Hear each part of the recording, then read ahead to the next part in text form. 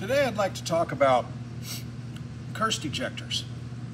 This is an action, this is actually an 1861 Navy with a round barrel. And this gun is actually a permanent conversion, so it is a permanent firearm. It has a R&D screwed in ring. You'll notice that the ring right here at the top doesn't necessarily line up with the top of the frame.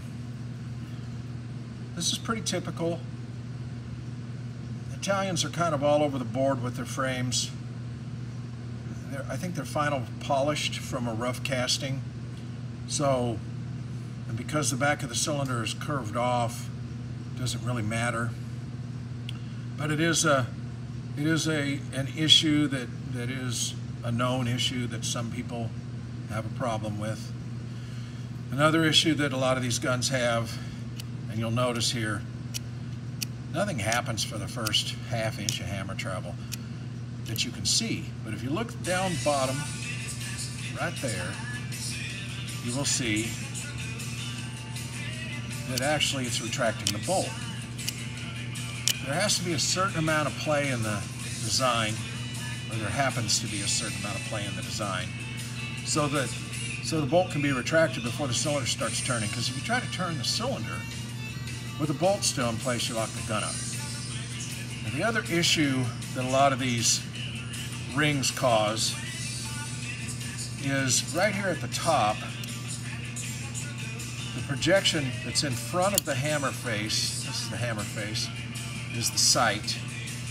That projection, okay, and you always have to go all the way back with these guns before you pull the trigger to drop the hammer back down. That projection can interfere with the ring, depending on a number of things. The cylinder end gap is very tight, and there's been no arbor correction. You can over wedge the gun. The wedge is what you use to hold the gun together. And put enough force into the cylinder and then into the ring that the hammer will contact the ring. If the hammer contacts the ring a little bit, bolt does not fall off the hammer cam. If you don't understand that, you could probably make a video on YouTube and denigrate it. But, Kirst ejector, that's actually what this is about. The Kirst ejector, if you'll notice, right here, has a relief cut in it for the wedge to come through. The wedge is only retained by the tab on this little spring right here. That tab pops through the frame and holds it, keeps the wedge from falling back out. The wedge itself is wedge shaped. Imagine that. There's an angle to it. That wedge, if it's fit absolutely correctly will be tight against the barrel at the front and the slot in the arbor at the back.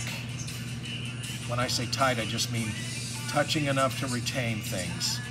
When this tab pops over the frame, right there, I fit a wedge so that that happens, but the design of the Kirst ejector typically holds the wedge spring down because that little tab can't pop over the frame anymore. And so it takes a little more force to hold the wedge in the gun with a Kirst ejector.